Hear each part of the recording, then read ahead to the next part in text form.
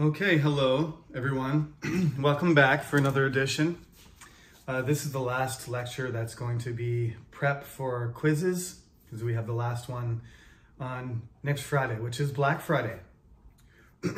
Not a holiday, you can do some shopping, but we still have a quiz. Uh, then we have sort of two more weeks of stuff, and then there's the exam.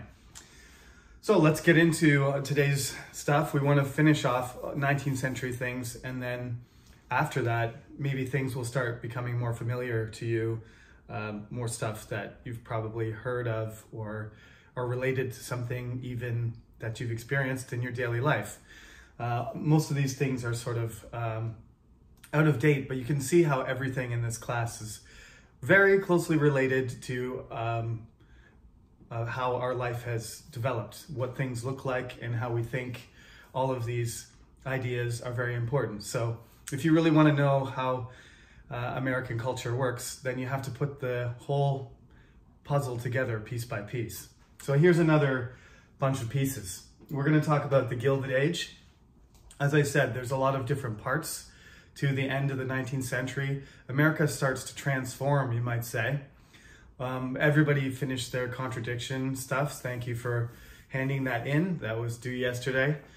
And uh, that's sort of one way of characterizing American culture. That's why I had you do that assignment is that um, America, some people call it the, some people have called it uh, the two-headed giant. So it's like a very powerful, um, fantastical creature, like a giant, but it's got two heads. It's always fighting with itself. Um, one of the great contradictions is America is supposed to be the, the leader of the free world, and yet they have a lot of people in jail.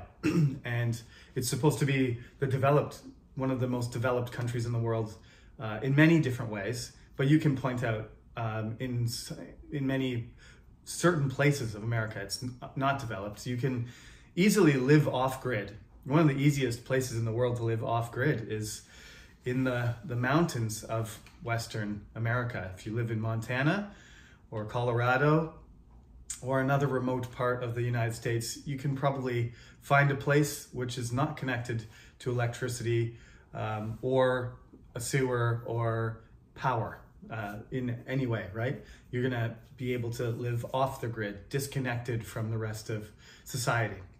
Um, but anyway, all those things aside, uh, America is a highly developed country and uh, it's very diverse, but it often ends up having at least two heads. It, in in politics, obviously, we have the two great parties always contending with each other. Uh, as I pointed out, the Democrats in the Civil War are the ones that are uh, pro-slavery, and the, the party that really is um, occupies the position that the Republicans often do these days. And there's different types of Republicans. They're not completely unified. There's a struggle within the Republican Party right now between Donald Trump and uh, the people that support him and the people are, uh, who are against him. And we don't know how that's going to play out. Uh, but let's not get ahead of ourselves. The, the, long history of the United States, almost 250 years now, um, there has been usually two parties um, contending since George Washington retired and Thomas Jefferson and John Madison and Alexander Hamilton were against each other. There's been kind of factional politics and only two parties have really been in the in the mix the whole time. Uh, only two parties have ever, ever won. No other independent party uh, has been able to take control. So you've got a two-party system, as they call it. But as I told you, in the Constitution, there was not supposed to be parties at all.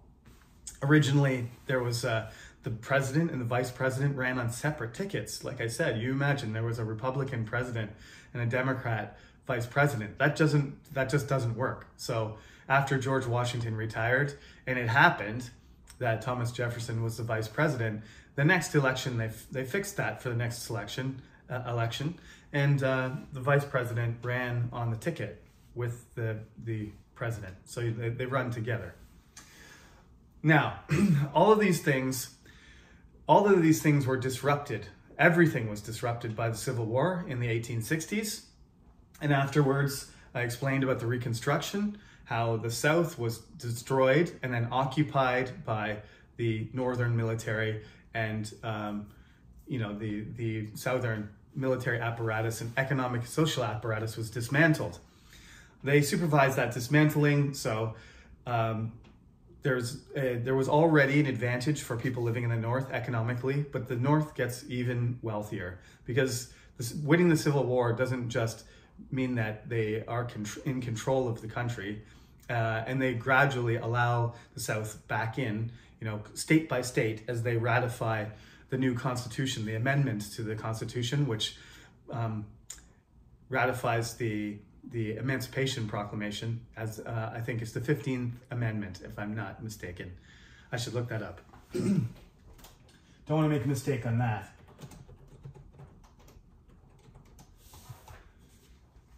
The right of citizens of the United States to vote shall not be denied or abridged by the United States or by any state on account of race, color, or previous condition of servitude. That, that was the one. That was the right one. The 15th Amendment. Um, before they rejoined the United States from the Confederacy, which had rebelled and separated and started the Civil War, each state had, ratif- had to ratify that 15th Amendment and recognize that.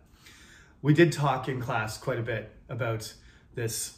Who who decides you know uh, on certain issues? A lot of students were interested in that um, probably because in your country there isn't really much power in the province uh, like there is in Canada. Provincial power is quite strong in Canada too. But in the States, as I said, uh, state legislature and state governors have a lot of power. But one of the reasons that the federal government has more control is because they have the money. They have control over financial and economic policy. And when, when uh, projects or programs are launched by individual states. Most states can't do that without support from the federal government. That's really the underlying glue of the system, I think, is that most states can't do it alone. There are exceptions to that. For example, uh, New York, especially New York, uh, Texas, and um, California. Those they have huge economies and huge populations, and they can their governors have a lot of influence on national politics, for one thing. Uh, you might even throw Florida in there as well, but they don't. They're not as um, significant, um, and they, they're. It's not as rich for for one thing. Florida has the the fourth biggest population. I believe it's California, followed by Texas, followed by Florida is third, and I'm not even sure if New York is actually the fourth in terms of population, but the influence that they have um, and their ability to to um, make policy and support themselves because they're what they call we call have states, right? Um, there's a have-not states and the have states, and the same thing is true in Canada. So there are rich states and there are poor states. I mentioned a few of them: Kentucky, uh, Mississippi, Missouri. Uh, I have a student who lived in Missouri. These are some of the the poorest states, and when you go there, um, you'll see a big difference between for example, New York and Kentucky. Very different culture, very different level of prosperity, um, very different attitude about politics, uh, a, a, totally different culture if you want to look at it that way. I, there's a book that I used to uh, as a reference for writing my own textbook. Um, it's called um, American Nations, and it splits uh, North America into seven different nations based on traditional things like geographical boundaries. Like I said, if you look at Europe, Europe has so many countries. Um, lot, some of them are kind of artificial, but a lot of them are very logical. You can just look at you can just look at France and say, okay, it's got natural geographical boundaries. It has oceans and rivers and mountains as its edges. Same thing with Spain. It's got a chunk out of it in Portugal, but that makes sense too. Italy um, used to be split into pieces, and there's a mountain range that goes right down the middle of Sicily. So you got southern Italy, and then you have Sicily, right? And then you have northern Italy, which is in the Po Valley, and then you have the Swiss Alps, which is a different country. So these things are kind of naturally natural boundaries, and you have the same thing in the United States. You have like the Midwest, uh, and you have the the South Desert that's kind of more influenced by Mexico. We can call that whole area the, the Te- Tejanos, which is the origin of the name Texas. And then you've got like the West Coast culture, uh, Northern California, all the way up to Seattle um, in Washington State. And of course, you have New England, which it has its own style. And you've got uh, the South, right? From Virginia down to Florida. And then you have the mountain range, the Appalachian Mountains, which includes Kentucky and West Virginia and Tennessee. Um, and and those all of those places have like similarities between their their cultures. You have the Mississippi Valley, all of the states that are along the Mississippi River, they're all sort of in the same condition economically, politically, uh, in terms of their population and usually even their ethnic, you know, balances. How many African Americans or Mexican Americans or Asian Americans or or um, Anglo Americans they have. So that's the way America looks, right? Um, that's the way it's developed, and uh, somehow, like I said, it's kind of surprising that America is an actual country, but it is roughly the size of the EU. And if the EU becomes actually one country with a whole bunch of states, you know, rather than nations, um, separate, it's kind of a union, as you know, that's what we call it. But they also called America in the Civil War, they called it the Union, right? The American Union. So there's some, some similarities, some parallels. If you're European, you might be able to see them. Okay, so the, what does the Gilded Age mean? Gilded means covered in gold. It looks like it's gold, but it's just gold paint, right? Or, or gold sort of covering. Like it might be beaten gold, but it's very thin uh, if it's not paint. Um, you just put something and cover it in a very thin layer of gold. So it looks like it's solid gold, but it's not. You pick it up and be like, oh, this is not that heavy, unless you make it of, of lead, and then it's pretty heavy. But it looks like gold is the point, but it's not really gold. So if you look on the surface, you see gold. You look deeply, you look inside, look at the, the whole thing, it's fake. So the reason they call it the Gilded Age because after the Civil War, things look good. America is still one country, and we have these industrialists who are making tons of money and getting rich. People are immigrating from Europe by the thousands, right? Lots of Irish people, lots of Italian people, lots of German people coming. There's war in Europe. Uh, the Franco-Prussian War happens in 1870. The Germans win that. They form their own country, officially unifying Germany, uh, making the German Empire in 1871. 1867, uh, Canada becomes a country. We have our own confederation. Um, the, Alaska, the Alaskan Purchase, I believe, is also in 1867. I think it's the same year that Canada becomes a country. That's not a coincidence, I think.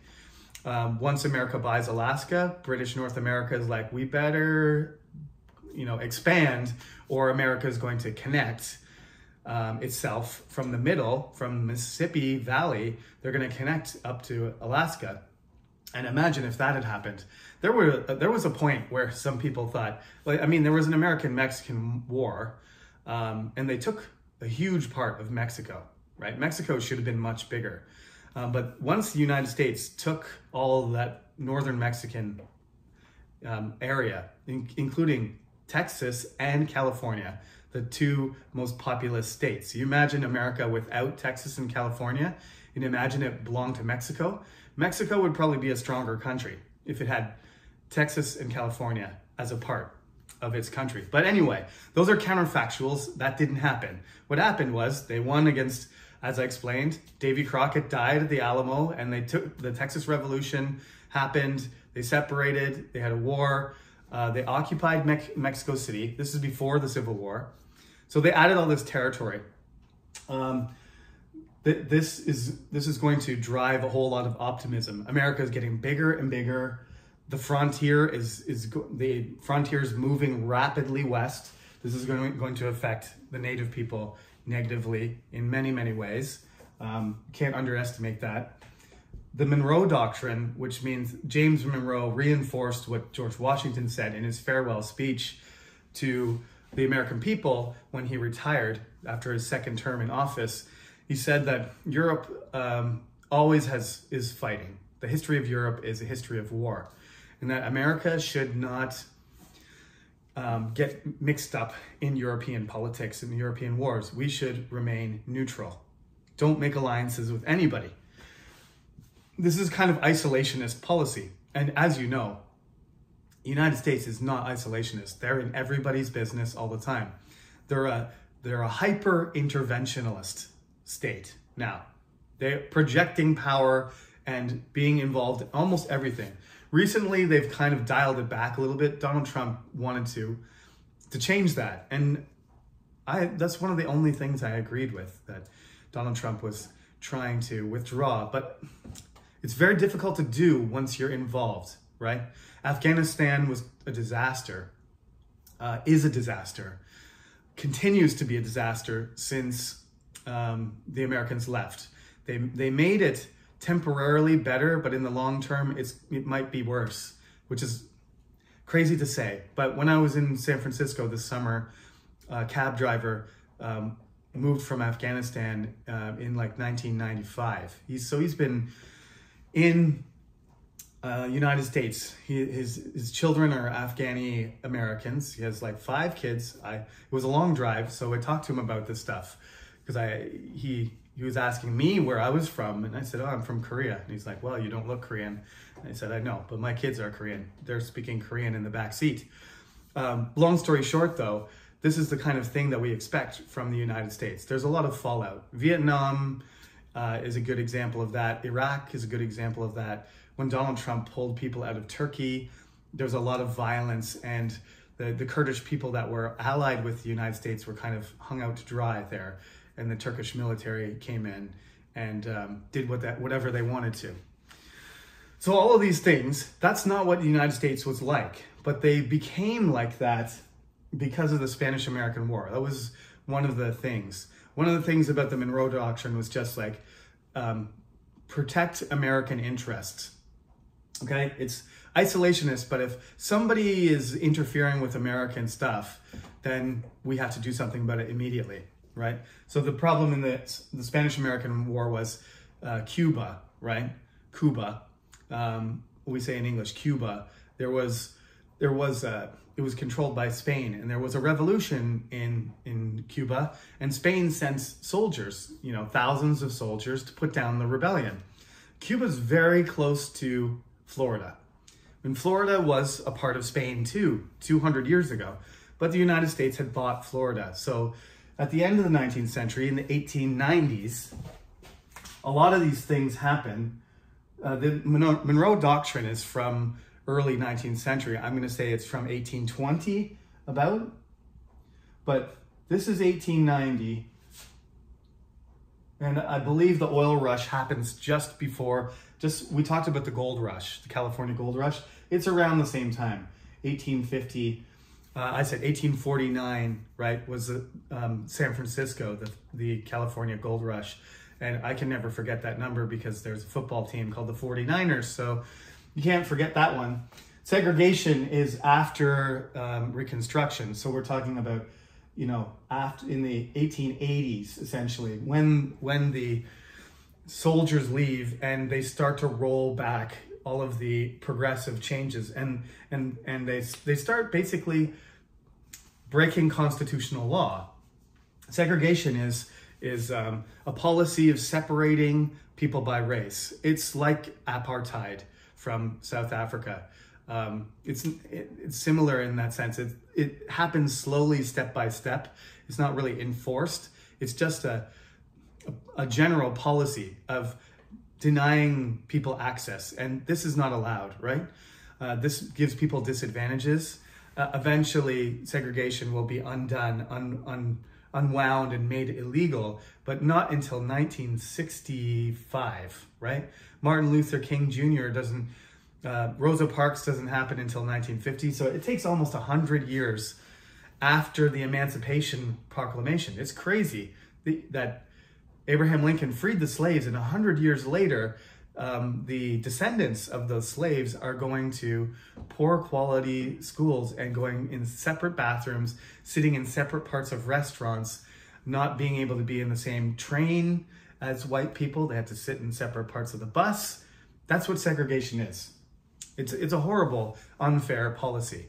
And that's why the civil rights movement happens. We'll talk about it when we talk about 20th century stuff. But just to give a preview, I mean, African Americans fight in World War II against the Imperial Japan and the Nazi military. And they fight and they die just like everybody else, but they're in their own units. There's white units and black units, and they're treated differently. And they fight and, and give up their lives for the ideals of American life, American culture, America as a country. They believe in it and they fight and they die. Some, some of them die and some of them survive. And the, the survivors come back and they say, what, why are we doing this when look at what, what we're living with back home, right? When we're in the field, when we're fighting and sacrificing our lives, we're doing the same thing that these uh, other parts of um, society are doing. The white soldiers are doing the same. We're doing the same thing as them, right? We can't we can't be generals. We can't be officers. We don't um, get to eat the same food or intermingle, and we don't get the same you know treatment on the battlefield. And we do our jobs just as well, and we come back and we're treated as second class citizens. That's not what it says in the Constitution. It doesn't say all all people are treated equal, except some people are second class people or lesser people. That's not what it says. Never said that. Again, that's the greatest contradiction. So the segregation policy, this is a this is looking at the cracks in the gold, right? Looks like everybody's doing well. If you come to America and you look at all the huge houses in Rhode, Rhode Island and New Haven, Connecticut, like I said, most of you are like, what's Connecticut? It's a bunch of rich people that live not far from New York City. Like New York is here and Delaware is here and Connecticut's here and Rhode Island's here. So lots of people who are really wealthy, they have big houses and you know, they have businesses in New York or they work in New York, but they have a huge house in Connecticut or Rhode Island because um, it's nice there. It's beautiful and it's all rich people, so they like it. Um, if you go there, you think uh, Amer- all Americans are rich. Same thing in California. If you you go certain parts of California, like Beverly Hills or whatever, you think everybody in America has got a twenty million dollar mansion, but they don't. You know, that's a small gilded surface that you're looking at. So we have these Rockefellers, Andrew Carnegie's, right? I explained this in another class, so I'm sorry for those of you who listened to me say this in composition three, I think it was. But I mean, they're good stories. They're these guys are interesting people, and I didn't write about these individuals because we're going to run out of time to talk about all of these things. But John D. Rockefeller is an oil tycoon. Um, he's the richest man in American history. Um, he was a Sunday school teacher, um, but he was he was an innovator. He was a businessman. He was not a scientist um, or an inventor like Edison or Benjamin Franklin. We're talking about a person who has business sense. Um, he has a genius for business, for organization, and for competitiveness. And he basically um, gradually absorbs every part of the oil industry from top to bottom and left to right, integrated horizontal and vertical supply chains. So he pretty much own, he owns the whole process from the oil drilling right up to uh, the pumps and the delivery carts. Like he, this guy lived a long time ago. So 19th century, there's no cars. They're like, they've got oil tanks on carts and horses are, you, you got to remember like what time we're talking about here. It's the 19th century. Nobody's driving cars yet. Henry Ford didn't make the Model T yet. So everybody's still, if you're rich, you're riding horses or you're riding trains, right? The trains are, are still largely, you know, steam engine, but there, there's combustion engines being created. So things are going to change. But he's he's back. He's basically delivering as he develops his business, and the car industry gets going. Um, he's de- he's originally de- delivering oil, making oil oil deliveries on horseback, and they have big tanks on carts, and then they pump pump the oil in. So as I said, it was whale oil that was the fuel they used for lamps, like uh, what we call an illuminant, right? Um, this comes from this comes from French, from Latin, right? Allumer to um, illumine, to illuminate means to make it bright. So the the fuel is called an illuminant. It's not a it's not a gasoline or propane or something like that. It's a fuel for making light. So the lamp oil starts being Rockefeller's business. Uh, instead of thousands of whales being killed, which this is a good thing for the whales, obviously, bad thing for the air, but good thing for the, the whales, conservation. Um, probably, I mean, definitely, if we hadn't have found that kind of oil and continued to hunt the whales, we would have killed all of them. So that's he saved the whales inadvertently, but um, basically he was one of those people. He was intentionally going for a monopoly. So eventually, the story about Rockefeller, it's important that eventually um, the antitrust, it's mostly Theodore Roosevelt um, who starts this movement of breaking up companies that are dominating the market. And um, if you believe in capitalism, uh, it also requires a free market. If you have one company that controls 95% of the market, they can set the price wherever they want and they can mani- manipulate the, the market, which what might be bad for the consumer on one hand, but it might be bad for national security. Like if you need oil for your ships or for your vehicles or for your tanks or whatever it is, and uh, you have somebody in your country who can literally sell the price cheaply or expensively, depending on how they feel uh, uh, on the given day. Um, this is a huge concern for the American government, not just for people who are driving their cars to work or driving their using oil for fun as you know not for fun as burning it but going on a trip or going on a vacation the oil becomes the fundamental you know uh, element as you know we've had inflation problems this year most of that is because of uh, disruption of fuels and oil and gas from russia um, this has destabilized the supply chain and everything needs to be moved and everything is moved still mostly by using oil. So when oil price goes up, the price of everything goes up. That's really the rule, has been the rule. So Rockefeller's company was sued by an antitrust suit and he lost and his company um, broke up into Exxon and Imperial Oil and a few other ones. I think the original company was called Standard Oil because it set the standard, right? Anyway, he, he was still disgustingly rich, so it's okay. He doesn't need to be, we don't need to feel sorry for him. Um, but it's a lesson to be learned that um, if you if you want to have a healthy, you know, consumer um, um capitalist market, and you don't want things to be manipulated, and you don't want the the um, gap to open up too much between the super rich and the average person, the poor and the average person, the middle class person, um, then you need to, there has to be some regulation. There needs to be some rules.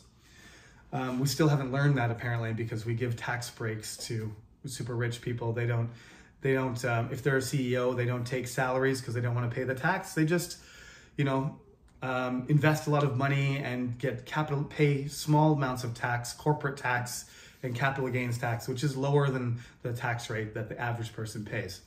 So, like I said, on the surface, things look good. The oil rush, you know, fuels this massive increase of productivity.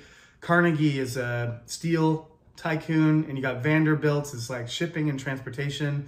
I said before, Stanford, the guy that the university is named after. Um, there's a huge cigarette company, tobacco company called Duke. The guy's name is Duke, and that's the University in North Carolina called Duke. He, it's a typical thing for a super rich American thing, um, American person to do is make tons of money and destroy other companies and dominate the market and maybe be unfair and super competitive. And then, as a sort of cleaning up act to improve their reputation, build a whole bunch of museums and libraries and hospitals and schools and found a university that's named after them. Carnegie Mellon is a university in the United States. I think it's in New York.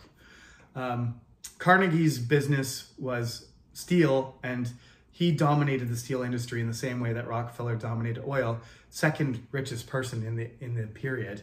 Um, he was born in Scotland, and uh, when he he dominated the steel industry so much, uh, it's hard to imagine this happening. But you know, he the amount of uh, material, just like the Industrial Revolution in England, he did the same thing with steel, where he was producing, you know, uh, a certain amount, and then 20 years later, he's producing literally like 300 times as much. So the amount he could produce in one one year, 20 years later, he's producing that amount in one day. That's the amount of increase we're talking about. It's exponential. So like he's doubling the amount of steel that he produces every six months, you know, uh, until like 20 years later, he's he's he's uh, producing all the steel in the United States for everything, for ships, for railroads, for skyscrapers, which is a new thing in the 19th century. Is they start building skyscrapers using steel and glass. Um, they don't exist, you know, before that. Uh, but he he's he's a great Carnegie's just also an amazing, he's a genius, he has a genius for business. He was great at investing money. He always upgraded his equipment as fast as possible. And he just made piles of money. And when he retired, um, he built, I think he built a thousand libraries. Because the story is that his, fam- his father was like a machine tool worker, like a factory worker. That's it in Scotland. And, and uh, so he grew up and he, I think he worked on the railroad first and then he made his steel company because he's like, I know what I need to do. We're going to need a lot of steel. So I'm going to make a steel company. So, you know, he worked for a while, saved his money, made his own company, wait, went from just a regular guy who's a worker and, and just grew his company from this small company making steel and, and uh, improving steel making processes to one of the richest people in the world. It's a crazy story uh, another part of his story is that he um, one of the one of the people he worked for maybe he was uh, I, I, think maybe he was actually in charge of the rail one of the railroads the Pacific um, the Pacific Railroad or something a very wealthy guy very important guy and he was working for him while he was working for him uh, he let him use his library he let him read um, from his private library because back then rich people had huge libraries. Uh, Bill Gates has a massive library. Sometimes rich people still do that. But back then, there wasn't that many libraries. Like, there wasn't public libraries around.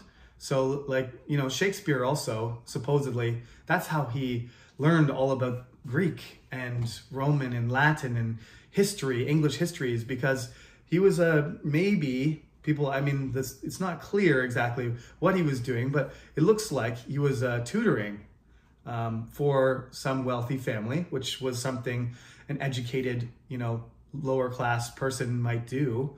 Um, in in 16th century, because everything goes back to the 16th century. And uh, that's something that you might do is is uh, work for somebody, and then you know he had access to the noble, the wealthy person's library. So this enabled him to become Shakespeare. Without the that library, he could never have written Hamlet or Macbeth or Troilus and Cressida or King Lear or The Tempest or anything else, right? Uh, he wouldn't have known about English history and he wouldn't have known um, all the things about Greek and um, Roman myths that were required for him to tell, you know, to make a play about Julius Caesar. Carnegie also felt that his education, his self taught, his reading had supplemented his hard work and saving and intuition and enabled him to become uh, very successful. So when he retired, he built a thousand libraries in America. 1,000. He had a lot of money. So I don't know if we should be super generous about that number, but that's a lot of libraries. Okay. So I think I've explained this, all of this stuff here, except maybe the, the conflict I said about the Spanish American War. This triggers the sort of defensive response of the United States. They they go to the they they start negotiating, telling Spain to back off, and Spain says no. This is our island. Uh, it's our business. Stay out of it. So there's an intervention, and the American military goes there. There's there's an American steamer that explodes, and they accuse Spain of hitting it with a, a bomb or a torpedo or something like that. These are brand new kind of technologies at the time.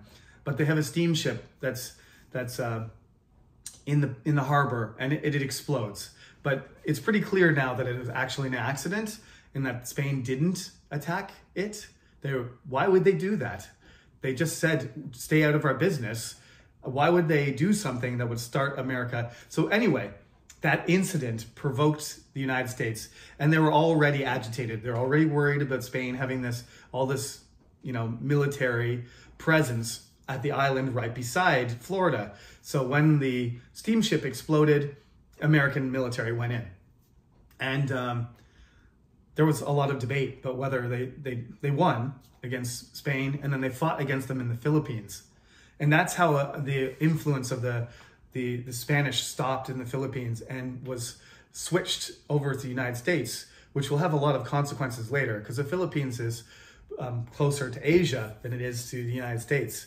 Um, and the United States decided that they didn't want, and this is another basically racist policy, is that they didn't want Cuba to become a, a state. And they didn't want the Philippines to either. So they kept control of them, sort of, but over like sort of like a overlordship and didn't give them an official state status. Because if they did, they'd have to do the same thing that they did for all American citizens. They would have to let them vote. But what's the problem with that? Well, Cubans are largely African um, African descent. It's a black. It's a people that are mostly black. So darker skinned people. So they didn't want to absorb a state that was 95% ethnically different. Um, the same thing with the Philippines. They just didn't want a whole bunch of, you know, Southeast Asian people um, running perhaps the Philippines could be multiple states. And then what would you do? How would you run a country then if you had people that weren't speaking English and they didn't look like you and they didn't share your values? So they rejected that idea that they wouldn't make them into states. And this creates a lot of problems down the road. Um, the relationship between America and Philippines is, I think they generally like each other now, but the, the governments certainly I think the Philippine the Philippines government, the Filipino government, has a lot of um, undealt with issues with the way that America has treated them over the years. Uh, obviously, um, they fought in World War II. They both were kind of uh, attacked. They fought with Japan, and Japan took over the Philippines, and America came back and freed them again and they became a country. So there's a lot of mixed feelings there. It's very complicated. But in general, um, this this pol- this policy, the Monroe Doctrine, kind of uh, collapses, and the Spanish American War triggers this. Some people in America think because the frontier is closed, the edge of America is closed, is that now we're a big country. We should be every other powerful country, Russia, Germany, France, even Belgium, they all have colonies. They all are, imperial powers, right? Every powerful country in the world has is is got colonies overseas, and the United States doesn't. So what do they have to do to become one of the elite countries, join the club, become a superpower? They need their overseas territories. So the Spanish um, American War, uh, it's not 1890. I think it's 1895 but this this is not a coincidence, I think, that they finish fighting within their own territory. So they immediately start fighting off continental America. Um, despite what George Washington warned about, the United States gradually gets involved in every continent's um, politics and military conflicts step by step until they're in everywhere in the world. Um, you can really see that the British Empire does this at the end of the 19th century. Britain's already done this. They're overextended. They're all over the world. The British Empire has been in over, I think there's only 20 countries in the world which has not had a British military or um, presence at some point. That's ridiculous. And America's, I got, the number must be similar for America by this point. Uh, there's very few countries in the world that haven't had, at one point or another, an Amer- American army group um, presence, um, garrison, or or air force or navy presence. Almost no countries in the world have not um, seen the American military. That's we'll talk about that later too, because that, that's a that's a big topic. So this is a kind of turning point. It's like, are they going to become this um, expansionist, right? There is limits. Of course, they are not really an empire, but sometimes they behave like one, even though they're a republic. It's, a, it's just like the Roman Republic, right? The Roman Republic, it was a republic, but for, for most of the famous part of the Roman Republic, before it became an empire, there's an expansion. Rome is a republic, but they're taking over countries, right? They fight against Carthage and they, they expand over the entire Mediterranean eventually um, and becoming an empire. But for most of that expansion, uh, for the first four or 500 years of Rome's history, they're actually, they have a Senate and they have elections, right? And so does the United States. This is one of the things most people are afraid of, including me, is that is the, is the United States going to just turn into some sort of autocracy? Is it going to be, you know, some kind of dictatorship or imperial project? We they have to be very careful. They're at the point where this could happen. That's why, you know, in the news, President Biden, which like or dislike him, he's super old, I know, but he's always talking about we got to protect democracy because we've seen it happen a lot of times that um, once you get a very powerful country and powerful people in charge, it's easy for you to lose control. So they do sort of turn into this and they, they hesitate and they don't enter World War One until 1918. But um, the full transformation sort of takes place in World War II when America commits itself fully to fighting, you know, all over the world against two other superpowers. And that's when America you know, decides that they're going to become a different type of country. Now, I haven't left myself enough time. I always do this. Um, the Native American people, they're very important um, for so many reasons. Obviously, the first thing is it's a it's a it's a tragedy. It's uh, you might say it's kind of an unavoidable tragedy because, as I said before, the, there's going to be as technology and and uh, states develop and civilization changes, there was going to be contact, right? We call this first contact. Um, usually now it's between aliens and human beings in science fiction movies. But this first contact is the first contact between human beings who live in Asia and human beings who live in the Americas. And they haven't had contact for over 10,000 years. So they've developed different societies. Um, some people estimate, some scientists, I shouldn't say some people, I keep saying that. I'm not trying to be vague here, but professors and scientists and, and archaeologists and anthropologists are, make estimations that there could have been over 50 million, maybe 80 million people in the Americas uh, before Columbus came. Which, you know, if you if you look at how many native people were around uh, several hundred years later, from 1492 to, let's say, 1792, 300 years, right? The beginning of the beginning of the 19th century, uh, when America becomes a country in 1776, the population has de decreased in North America by 90%, about. The biggest populations of natives were in what is now Mexico and in Peru, the Inca, right? Um, the South American population and the Mexican population were probably the majority of the people, that, but there was big civilizations in the Mississippi Valley that collapsed before we even got to see them because disease spread way ahead of the Europeans. So often they would come and all they would see is just the remains, the skeletons and the, the, the toppled buildings or collapsed buildings and ruins, which decades before um, were, were completely wiped out by plague. Like I said, think about the Black Death, but nobody has any immunity at all, right? Think about a plague, and like some people have resistance in Europe. So 50% of the people, more than 50% of the people survive, right? Cuts the population in half.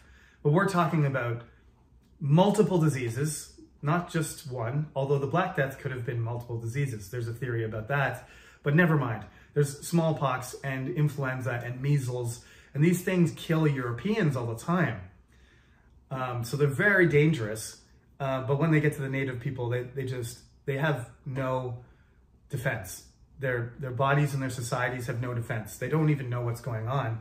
They think it's sort of like some sort of, just like the Black Death. Some, there might be some spiritual reason or some punishment or some, you know, uh, other explanation. They don't have, you know, medical science. So they don't know what the reason is for this, but it just kills most of them. George Vancouver, uh, who was a British guy who sailed around the ocean and came to the western part of Canada, and he came into English Bay, which is the site of modern day Vancouver. That's why it's named Vancouver after him.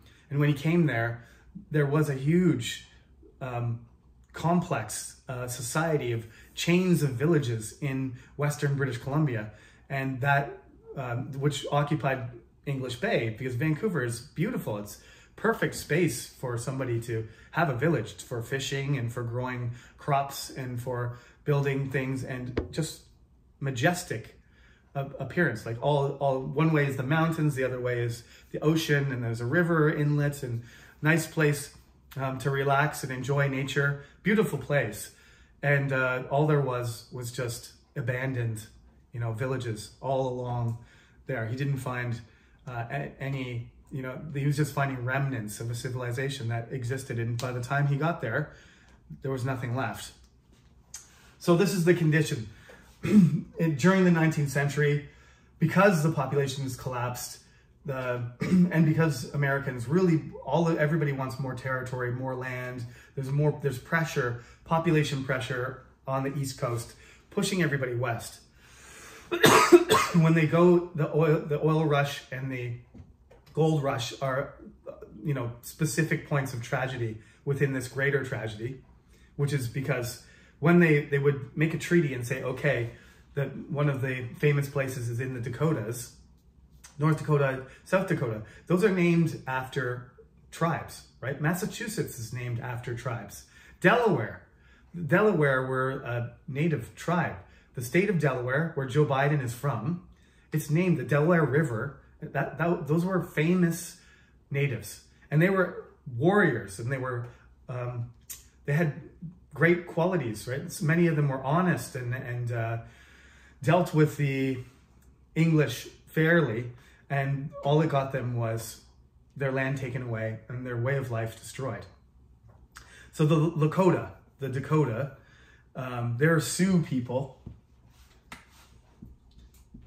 most of these tribes, like I said, the Iroquois are five groups. One of them is the Mohawk, and uh, there's a college in my university city of Hamilton. McMaster University is where I went to university, but there's a college called Mohawk College. It's named after, many, many places in America are named after the native people that lived there. So North Dakota and South Dakota, they're Sioux people. And they're very famous for riding horses. And it's an interesting thing because there were no horses in America. Horses died out thousands of years ago. So the native people didn't have horses until the Spanish came and they brought horses and some of the horses ran away. Apparently this is true. I find it uh, fascinating that this would happen. But some of these horses ran away and became wild. They became, you know, what do they call them? Mustangs. That's why, again, um, I mean, this all this stuff, uh, when you see a name, it's always got a reason for it, right?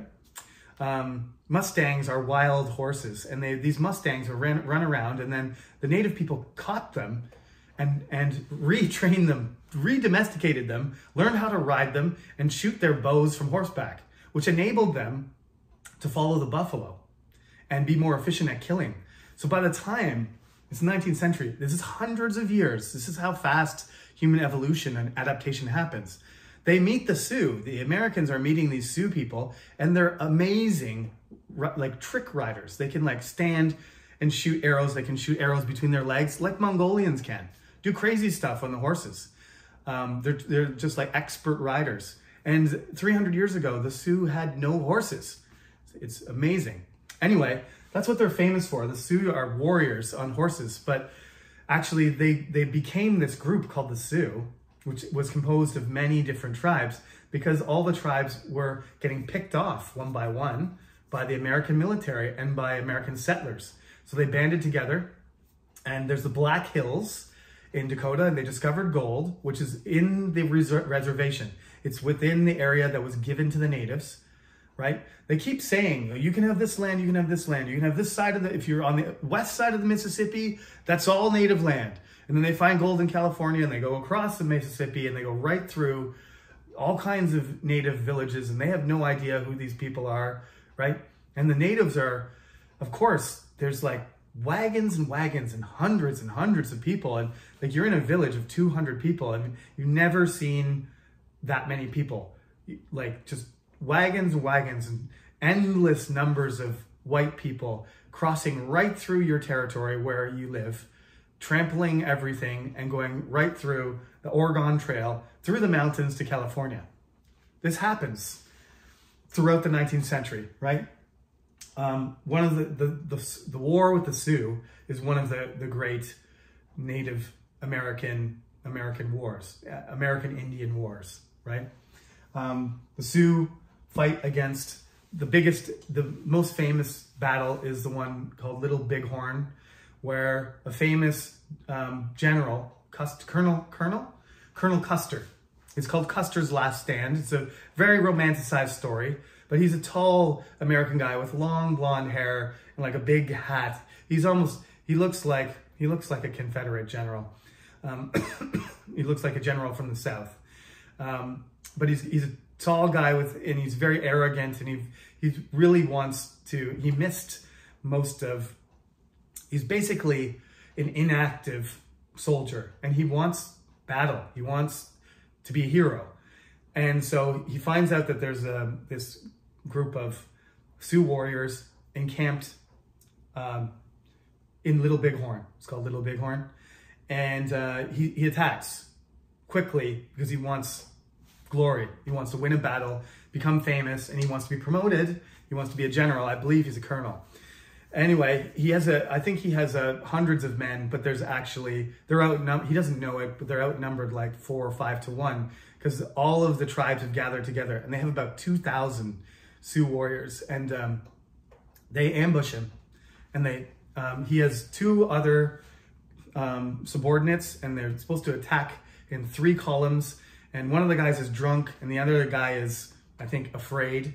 So it ends up kind of being Custer fighting with about 100 men, 150 men, fighting against a thousand Sioux, um, and they, they massacre them.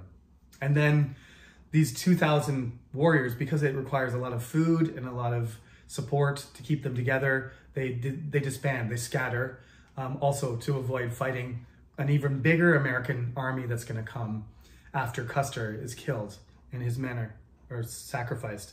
But this becomes an excuse for the American military to attack unprovoked, to attack all native people because one group resists. The Apache are the last, they are the last group to resist. Um, the famous chief is Geronimo. And uh, Americans have this expression called going off the reservation, which means to go crazy or, or do something very brash. And that's because Geronimo was the last chief of, chief of the Apache to leave the reservation and, and uh, escape and go off into the desert and, you know, kill people and live sort of, of a free, uh, unrestricted um, native lifestyle. Um, they hunt they hunt them down.